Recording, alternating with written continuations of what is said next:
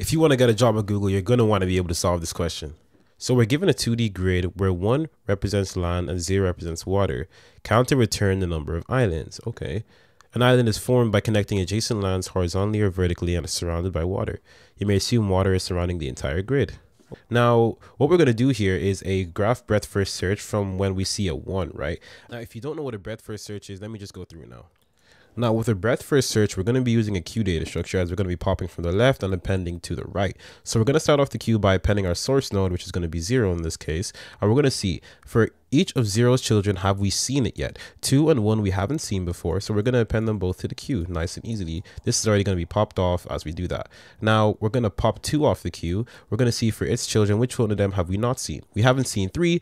We're going to append that to the queue. We have seen zero, so we're not going to append that to the queue.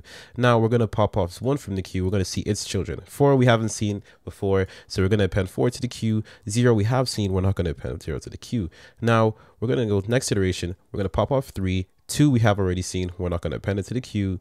Four, now we're going to go to four, pop that off. One, we've already seen. We're not going to add that to the queue. And now we have processed every single node we can reach from zero. Now, in this case, we're going to loop through every cell in the grid, right? As soon as we see a 1, we're going to increment the number of islands to 1. And then, okay, we're going to see what what ones can we reach from this 1 so that we're connecting all as an island because islands are all connected by ones. So we're going to say here, okay, we're going to add this to the queue, this to the queue. We're not going to add this 0 to the queue because it's a 0. We don't want to have any zeros. Okay, cool. Now we're going to process each one. We're going to add all the surrounding to the queue. So we're going to end up having all these ones. And we're going to mark them all as seen. So then in our next iteration of the grid, we're not going to look at this one because it's already been seen as an item we've already processed. In this case, we don't have any other ones that are not connected to these ones here. So then we're going to only return one. This code's pretty long, but here you go. Subscribe for more.